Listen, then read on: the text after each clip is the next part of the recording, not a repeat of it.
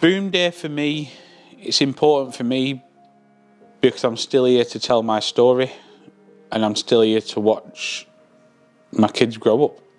And my kids ask me loads of questions and I answer them, but I don't tell them exactly what happened and I won't do that until they get older.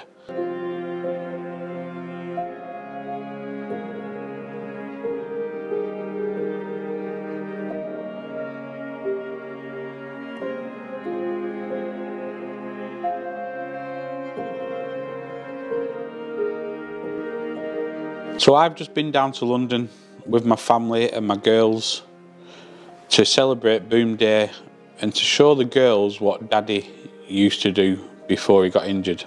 London, it was nice, but it was very, very emotional. Showing my girls what I used to do and me watching myself what I used to do, it were very emotional and it brought back a lot, a lot of memories.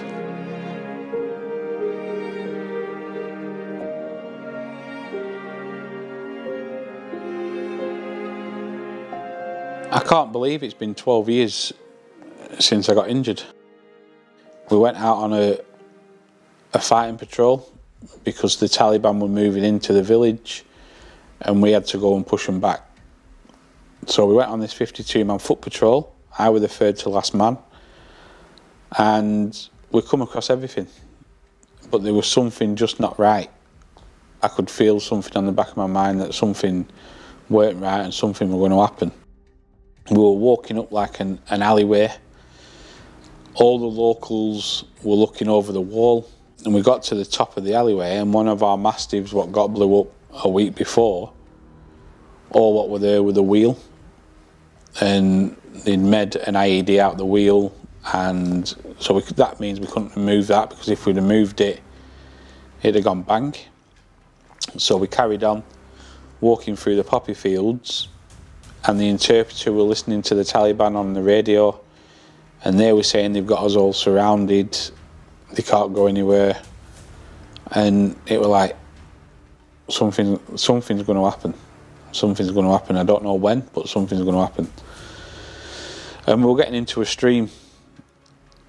And I was the third to last man, like I said. And there were an IED to the right hand side of me, so it was just on the edge of the water and on the banking. And I got in. The guy behind me slipped. I've turned round to go and help him because out there you don't you can't really think. You just want to make sure you, your friends are all right. So I've turned round. As I've turned round, I've stepped on the IED. I've heard the click.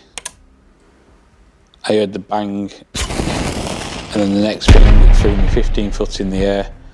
I landed back back first in the water. All the water come over my face. And I tried my best to get my head above water. And I just couldn't do it. I don't know what had gone on. Uh, I was conscious. And my life just flashed before my eyes because I was drowning. And I was like, I need to get, I need to get out, I need to get out. I tried my best. I couldn't, could not do it. But then the guys have come up to me, dragged me out, sat me on the side and said, Dave, don't look down. I went, what are you on about? Don't look down. They said, just don't look down. And they're putting the tourniquets on me to stop the bleeding. And I've looked down to see what, see what happening. And as I've looked down, my legs were gone completely. All what were left of my shin bones. And as they were putting the tourniquets on, my shin bones shot off like two bullets coming out of a gun um, because of the pressure. And then while they were doing that, I felt pins and needles in my arm. I looked at my arm and my arm was just dangling, just being held on by its tendons. There's, there's, the arm itself had been degloved, so the skin was dangling at one side, my, my bones were dangling at another. And I had a big hole in my armpit as well where something had gone up there and hit me. Um, where that, I class I was pretty lucky because I could have lost the, the whole of my arm.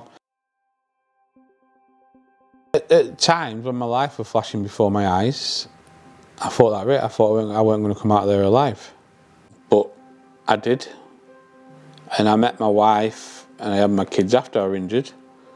And now, like I just want to, I just want my kids to. We want to go get out, and I want to show them the world, and I want them to like realize what they've got, and I want them to look up to me and say like they so they know if anything does happen in the future that they can pull through it like I did and they can carry on with their lives. Nothing can hold you back.